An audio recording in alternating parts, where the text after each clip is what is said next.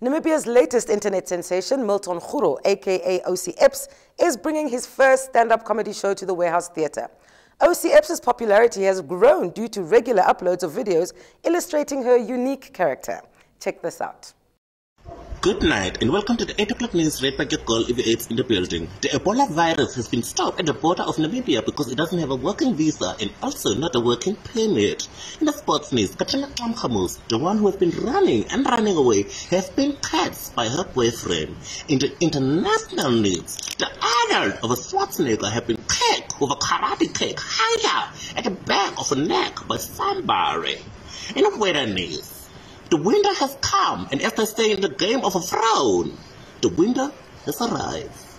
In the Namibian news, the local celebrity of known as the Kim Kardashian of Namibia is making a show.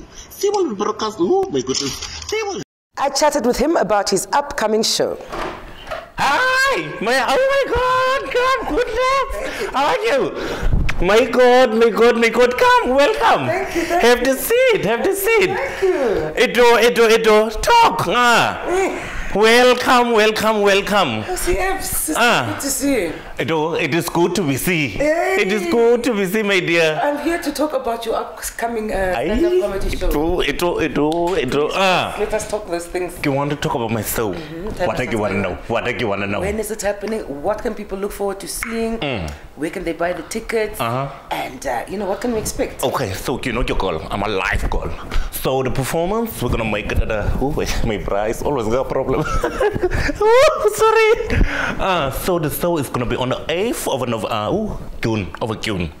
On the 8th of June, uh, we're gonna have a show at the warehouse, just there around the corner, not too far away. So it's on the 8th of June. The ticket is only 100 am I? Namibian dollars, uh, and it's for the early bird. Am I?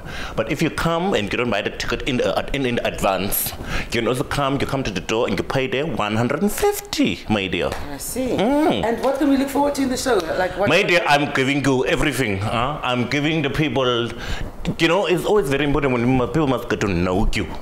And I think a lot of people only see the, you know, the TVs and they see me on the magazines and things, but they don't know me personally, face to face. Huh? We are talking everything of the apps. Uh, it's entertainment, it's the, it's energy, it's a nice vibe. It's, it's for the whole people, am I? It's a young, it's a old, it's a hey, it's for everybody. Exciting stuff. So you say the Warehouse Theatre. Warehouse Theatre on the 8th of June. And will this be your first stand-up comedy? It's or my first. I'm so nervous. I'm so oh, nervous. I'm sure I'm so nervous. away. Ne? Uh-uh, not blow you away. I'm going to make you laugh so you roll on the floor.